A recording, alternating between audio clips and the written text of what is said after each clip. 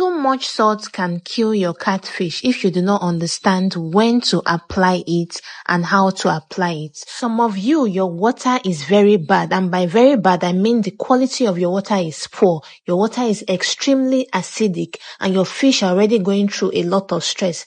Now, on top of that, you want to administer salt. That is what double stress. There's something we call osmotic stress, right? So it's very important that you take, you know, serious care when it comes to administering salt to your fish. Okay. Water quality is also a very, very great determinant before you administer salt. So that is why I always talk about water quality. Now, when your water is acidic, it directly affects the gills and the skin of your catfish that is responsible for balancing salt and water in their system. So it is important you have a full understanding of this. And that is why we have a detailed course on basic water treatment, understanding how to test your and how to correct your water yourself. You can get that course today. Read the caption for more details and I'll see you guys in our next video.